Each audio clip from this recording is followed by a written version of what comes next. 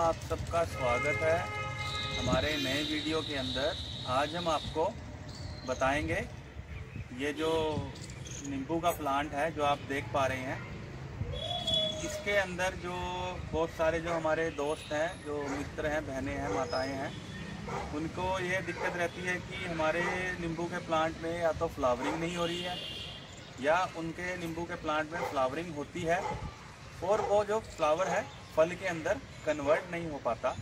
तो इसके लिए हम आज आपके लिए कुछ थोड़ी सी जानकारी लेकर आए हैं और कुछ आपको टिप्स बताएँगे कि आपका जो अगर नींबू का पौधा फ्लावरिंग नहीं कर रहा है इन दिनों के अंदर, वो फ्लावरिंग जल्दी करे या उसके अंदर फ्लावर आ रहे हैं और वो झड़ रहे हैं और वो नींबू के अंदर कन्वर्ट नहीं हो पा रहे हैं।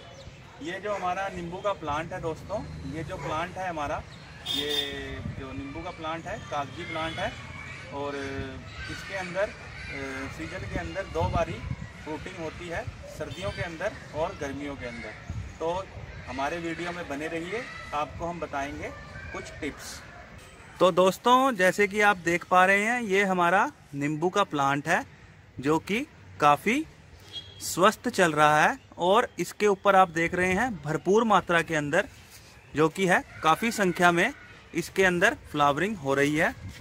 आप ये देखिए कैसे गुच्छे के अंदर इसमें फ्लावरिंग हो रही है और ये फ्रूट के अंदर भी जल्द ही कन्वर्ट होने के लिए तैयार हो रहा है। आपको दिखाते हैं कैसे इसके अंदर छोटे छोटे नींबू बन रहे हैं। ये देखिए, आप देख रहे होंगे कि इसके अंदर कैसे ये नींबू बन रहा है।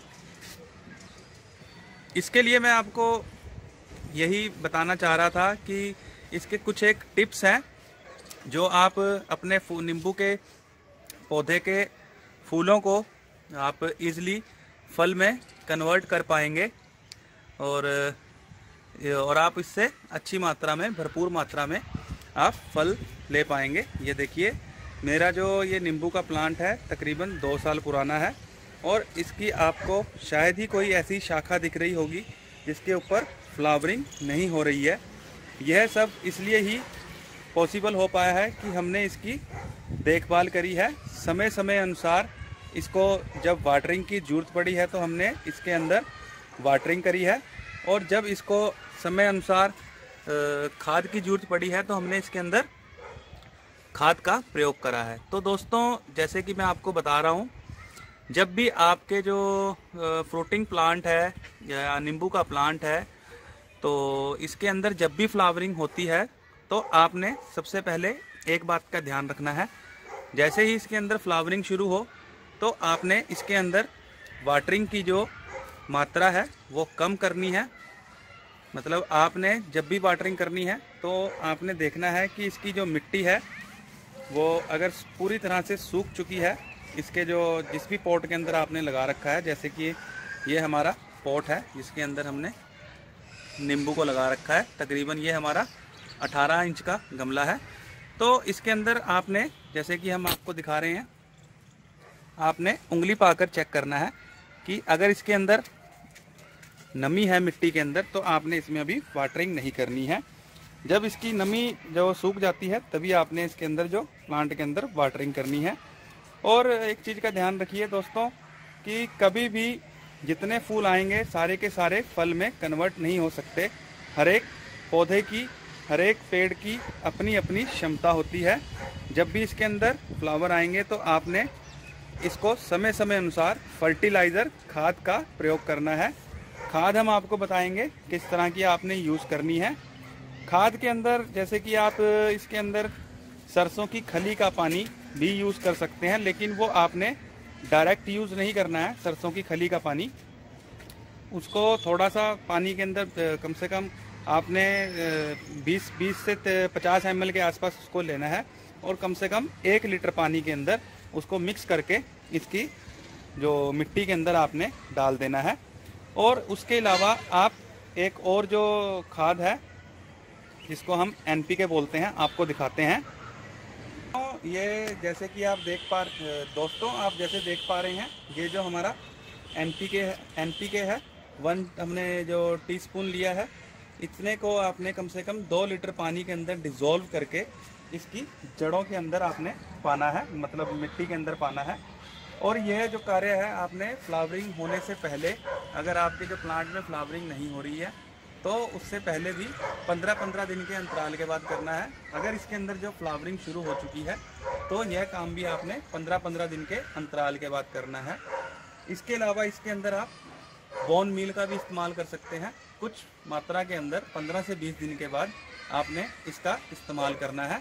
और जैसे कि कुछ समय के बाद आपने, जैसे कि ये जो हमारा नींबू का प्लांट है, नींबू का प्लांट जो सा है ये हमारा काफ़ी जो हाई प्रोटीन वाला प्लांट है मतलब इसको काफ़ी संख्या में खाद की आवश्यकता रहती है जब भी इस पर फ्लावरिंग होती है। तो इसके अंदर फ्रूट जल्दी कन्वर्ट होगा। आपने समय समय अनुसार इसके ऊपर खाद का प्रयोग करना है 15 से 20 दिन के बाद। अब हम आपको बताएँगे कि इसके फूलों को झड़ने के लिए एक देसी नुस्खा तो बने रहिए हमारे वीडियो के अंदर। आपको दिखाते हैं इससे कि इसके फूल झड़ेंगे नहीं और वो फल में कन्वर्ट होंगे। मैं आपको बता रहा हूँ कि जो देसी जो तरीका है नींबू के फूलों को झड़ने से बचाने के लिए और इसके अंदर जो आपने फूल को फल में कन्वर्ट करना है, उसके लिए ये आप देख रहे हैं, ये हमारे पास शहद की चीज़ी है, जो मात्र हमने बीस रुपए के अंदर मार्केट से खरीदी है।